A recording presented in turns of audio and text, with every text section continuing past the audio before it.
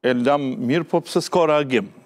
S'ka reagim. Reagimi ishte nga Ministri i Kulturës, po, pra ishte një reagim i gjatë. Mendoj që reagimi, se Ministri pas këtij reagimi të fundit kishte një reagim tjetër, të kësaj natyre, po mendoj që pikërisht reagimi i butë i Ministrit, reagimi i cili tha, i mirëkuptojmë gazetarëve serbë u është përgjigjur kontraverzat rreth figurës së Xhafer Devës, por shtëpia ka vlera arkitektonike, andej këndej, edhe ky reagim i butë i qeverisë së Kosovës, domethënë Ministrit të Kulturës, në emër të qeverisë së Kosovës, nxiti Beogradin në valën e dytë, Domethënë, ta, po, ashpërsojë... Ju po prisni që qeveria e Kosovës do të duhej të ishte më e ashpër në formën e po mbrojtjes edhe të figurës dhe të shtëpisë. Natyrisht që qeveria e Kosovës do të duhej ta mbronte Xhafer Devën dhe si figurë identitare të Kosovës dhe nuk guxon Me lonë që nga një figurë e cila i ka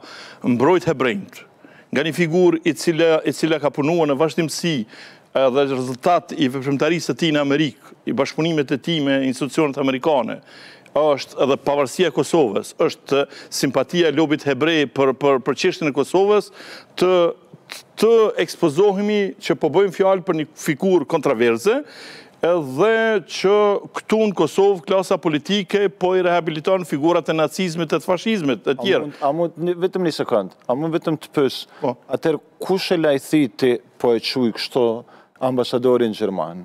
Diplomacia serbe dhe reagimet e disa personaliteteve në Kosovë. Ambasadori gjerman është në Prishtinë, zotni. Po, po, po, ambasadori gjerman i ka marrë, ambasadori, sigurisht me të nuk kanë kontaktu, Po, të tjerët kanë kontaktuar dhe domethënë materialin që kanë marrë kryen, kryen vetë. Jo, a mund t'ju citoj vetëm një diçka? Po. Librin e historianit britanik Noel Malcolm, faqën 322.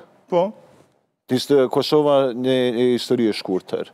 Po. Në të flitet ekskluzivisht në faqën 322 flitet për divizionin Skënderbej. Flitet për Xhafer Devën dhe flitet për krijimin edhe për Bedri Pejanin. Dhe flitet për krijimin e një divizioni me njëqind e pesëdhjetë mijë ushtarë aq sa është pretendu që mund të krijohet. Pastaj flitet për një gjashtë mijë e pesëqind veta. Por thuhet kështu. Pjesa më e e turpshme e historisë së këtij divizioni është dorëzimi i 281 ebrejve të Kosovës në duar të gjermanëve. Po e citoj, dua të, po, përflas.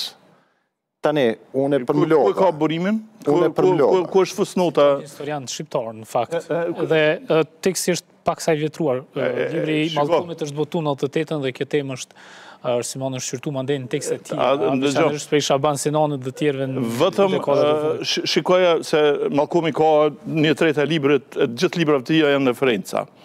Mirë po, sigurisht në kohën kur ka u marrë me Kosovën, ka qenë periudha fillestare që është marrë me çështjen shqiptare. Dhe sigurisht që është dashtë me referua dhe disa autorëve shqiptarë, që i është dukur më e arsyeshme. Por, historia shqiptare është një histori e falsifikuar. Është këtë që na foli ky zotniu Kasmi, ishte një përsëritje propagandës komuniste që është bërë që 80 vite. Zoti Spahiu, nuk ka një historian me renome ndërkombëtar që e glorifikon figurën as të